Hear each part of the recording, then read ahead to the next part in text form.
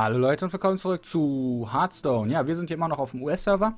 Im letzten Part haben wir den Paladin gerade so platt gemacht und wir schauen jetzt mal, wie gut das jetzt in dem Paar, äh, in dem wird. Wir stehen 4-0, das ist eigentlich schon relativ okay.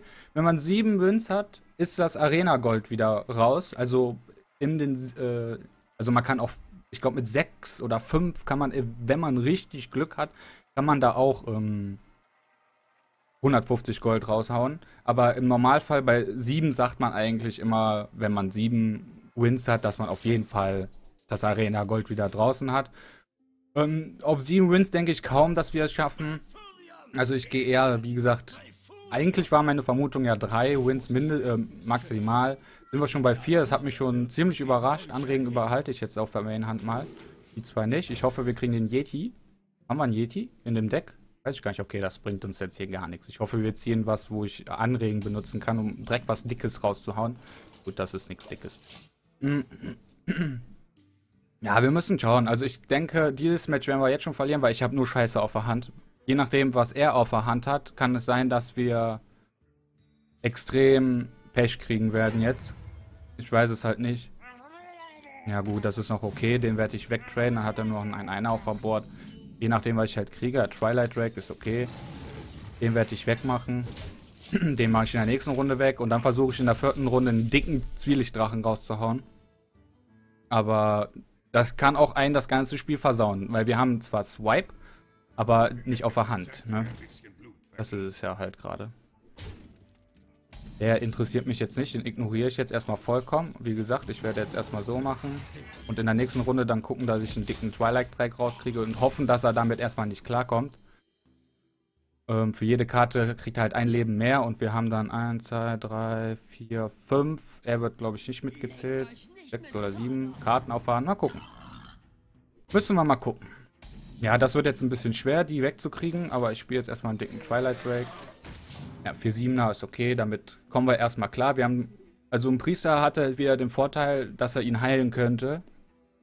Was wir jetzt nicht haben. Hat Tastingo, das war mir irgendwie ja schon klar. Bin ich schon ganz ehrlich, aber wir haben Removal. Aber er haut uns zwar gerade ziemlich dick die Fresse ein, muss man schon sagen. Ich werde jetzt wahrscheinlich Anregen machen. Ihn spielen, einfach nur um ihn wegzukriegen. Und er hier ist gefährlicher. Deswegen werde ich ihn jetzt erstmal wegmachen. Weil er könnte ihn enragen, dann wäre es ein 5-2er, 5-1er, je nachdem. Wir müssen jetzt gucken, dass wir die Board Control wieder kriegen. Die könnten wir kriegen, je nachdem, was er jetzt spielt, wenn ich dann Shapeshift auf ihn mache und dann ihn auf ihn.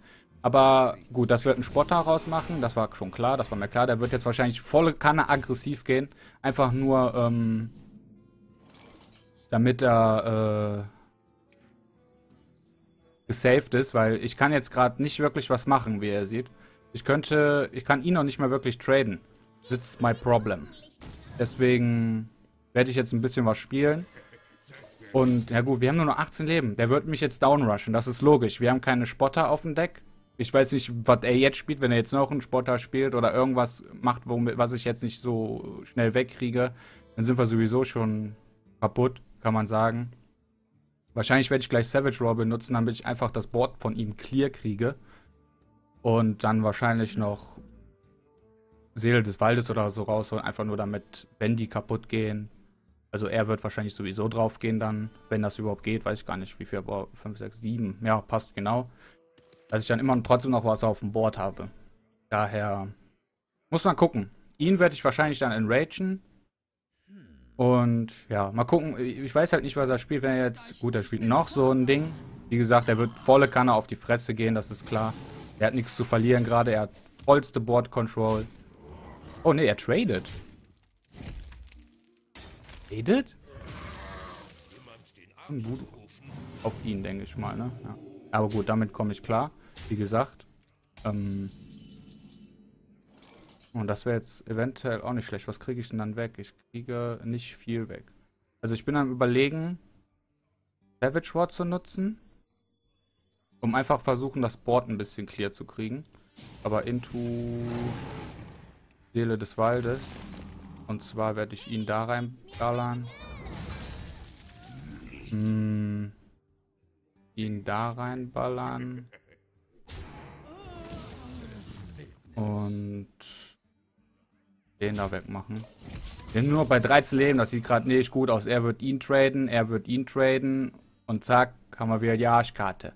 Das Problem ist gerade halt einfach, dass ich ähm, gucken muss, wie ich das Board clear kriege, damit ich die Board Control wieder äh, habe, dass er nicht vollkommen aufs Gesicht gehen kann. Ja, klar. Was hat er noch? Okay. Oh, wow. Wir haben aber auch nichts, um den gerade wirklich aufzuhalten, wie man sieht. Ähm, wir haben eigentlich nicht viel. Also das, was er jetzt auf... Der hat 6 Schaden auf dem Board, 7 mit seiner Heldenfähigkeit, dann... Oh Gott. Oh, der, der passt, der kommt jetzt gerade richtig gut. Dann machen wir diesen hier. Und ich hoffe, dass er keinen Silence hat. Dann hat er jetzt nämlich erstmal ein paar Probleme. Aber dafür... Ja, mal gucken, was er hat. Wenn er einen Silence hat, sind wir sowieso. Dann haben wir so, kann man schon sagen, dass wir verloren haben. Oh gut. Etwas dickeres. Aber damit komme ich sogar noch relativ gut klar, so wie das gerade aussieht. Ich mache jetzt erstmal diesen hier. Defender of Argus ist an sich schon mal nicht schlecht. Hm, ich mache ihn, denke ich mal, noch ein bisschen dicker. Aber er kriegt den jetzt halt auf jeden Fall weg. Aber wir haben halt Argus und das ist das, was mich gerade ein bisschen ähm, freut. Gucken, was er macht. Kultum der Lehre, er zieht sich wahrscheinlich zwei Karten. Heal ist überflüssig, der hat noch so gesehen 28 Leben. Macht einen Shapeshift? Der geht mit der Fresse da rein? Nee, nee, nee, nee. Wäre auch ein bisschen dumm. Was uns jetzt helfen könnte, wäre Swipe könnte uns noch helfen. Ein bisschen zumindest.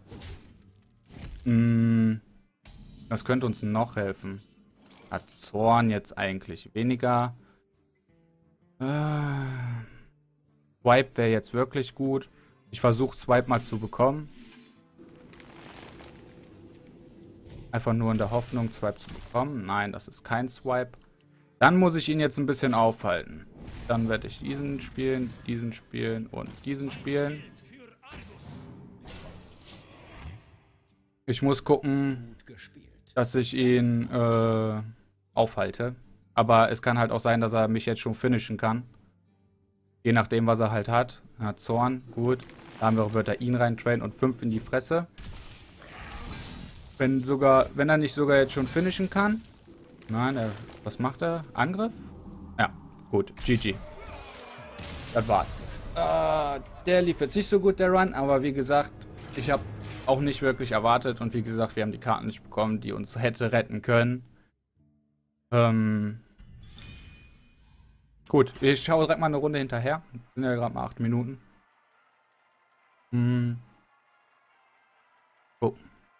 Also es könnte jetzt sein, dass wir direkt drei hintereinander verlieren. Wovon ich auch irgendwie gerade ein bisschen ausgehe, weil die Gegner werden nicht schwächer, die werden stärker, umso mehr man spielt. Daher muss man schauen. Irgendwie spielen wir nur gegen Paladine. Erstes Spiel war ein Paladin. Jetzt das vierte Spiel war ein Paladin. Ne, das fünfte, doch das vierte Spiel war ein Paladin. Und äh, dann waren mal zwei Jäger dazu. Oh Gott, ich habe den auch gerade erst weggelegt. Oh, den habe ich ja auch gerade erst weggelegt. Fühle mich voll verarscht hier. Schon wieder keine Low Minions. Das wird jetzt wieder übel schwer, ähm, die Board Control zu kriegen. Ist das derselbe von eben? Nee, ja, Ahnung, kann ich nicht mehr nachgucken. Aber derselbe von eben hat nicht angegriffen. That's der Unterschied. Aber naja. Wir können erstmal gar nichts machen. Wir haben nur High Minions auf dem Board, äh, auf der Hand. Das ist a problem. I, ja, hm. Das ist jetzt die Frage. Also ich werde ihn jetzt immer schön ähm, dicht machen, obwohl ich mir auch eine Karte ziehen könnte. Aber soll ich mir eine Karte ziehen? Nee, ich lasse es mal noch und hier einfach weiterhin sein Board. Weil wenn er ein hm, Blessing of Kingdoms hat, dann macht er daraus einfach mal schnell ein 5-5er. Und dann haben wir erstmal ein paar Probleme. Und ja, er macht auch noch nichts. Sehe ich das richtig? Okay, das wird Get Down sein. Get Down geht aber nicht durch... Ähm, soweit ich es weiß, geht Get Down nicht durch Es wird Get Down sein, deswegen werde ich das jetzt brocken. Nein, ist das Redemption? Okay, dann ist es Erlösung. Auch gut. Trick wäre mich. Wenig Get Down wäre ja besser für dich. Ja? Naja. Einfach nur, um das Secret zu brocken. Also, um es rauszuholen. Man sollte Secrets nicht so lange auf sich warten lassen, ansonsten können die aufbauen, aufbauen, aufbauen, aufbauen. Und das ist ja nicht das, was man will, ne? Gut. Dark Iron drauf, also, ja. Hm.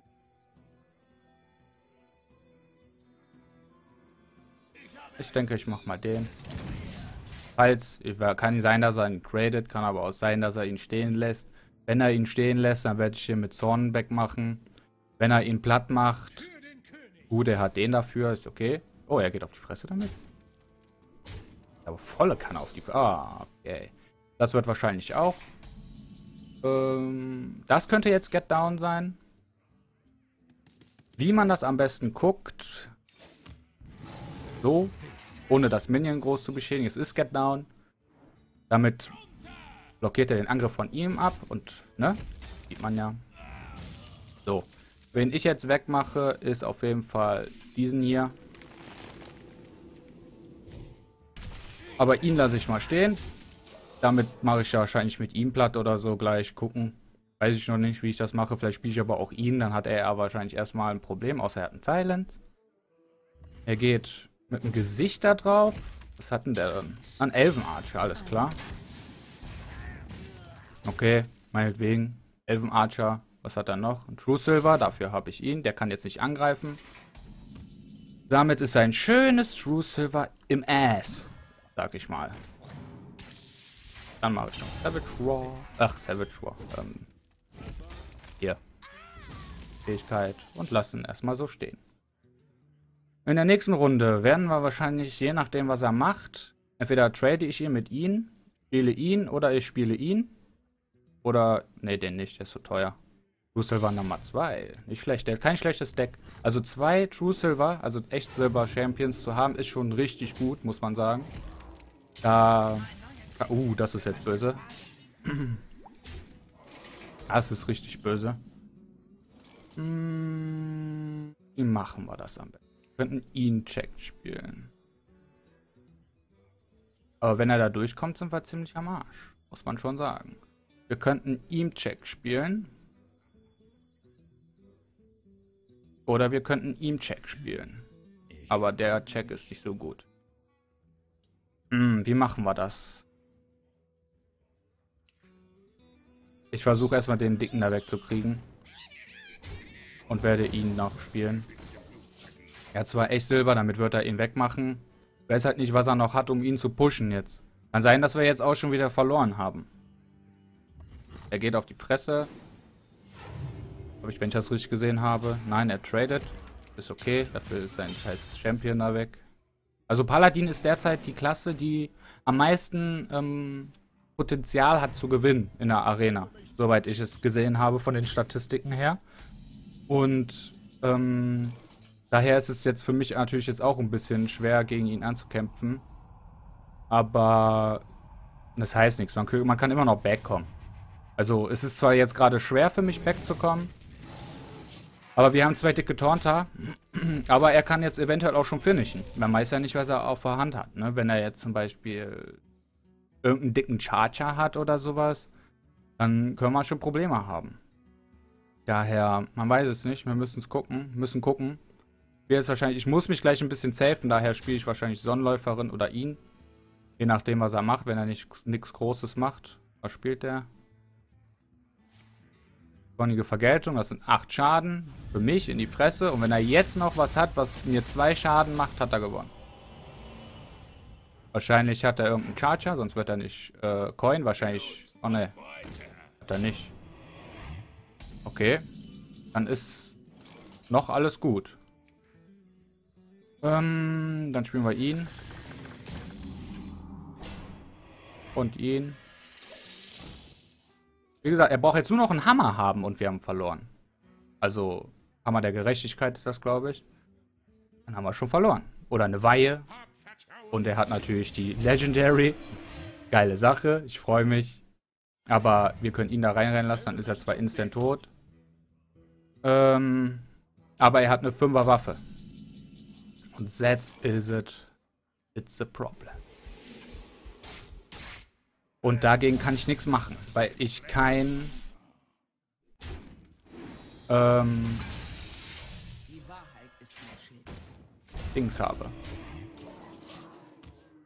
Kein, ähm, kein Silence, gerade auf der Hand. Ich weiß gar nicht, ob wir überhaupt ein Silence im Deck haben, weiß ich gerade gar nicht. Er braucht nur eine Dings, wie gesagt. Eine Weihe. Ansturm. Da wird wahrscheinlich... Ich bin mal gespannt, wie er durch ihn kommen will.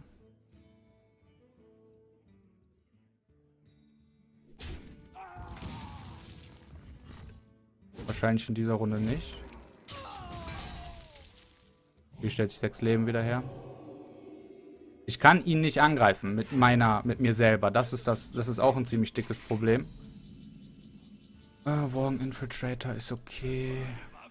Machen wir uns nochmal ein paar Spotter. Und wir heilen uns mal, sind wir aus der Consecration Range auf jeden Fall. Und wenn wir Schwein haben, haben wir nächste Runde gewonnen. Aber wir könnten auch... Ach, ich hätte ihn noch angreifen müssen. Scheiße. Missplay von mir. Wow, wir haben sogar noch gewonnen. Und das gegen Tyrion. Alter, das war... Das hat mich jetzt echt ein bisschen verblüfft, dass wir das noch gewonnen haben, ey. Das war Lack. Das war mehr Lack als alles andere. Der Swipe hat uns ziemlich den Arsch gerettet. Und ja, gut, okay. Dann beende ich jetzt den Part und wir sehen uns im nächsten Part wieder. Äh, ich hoffe, euch hat der Part gefallen. Ansonsten sehen wir uns aber beim nächsten Mal wieder. Also haut rein. Ciao.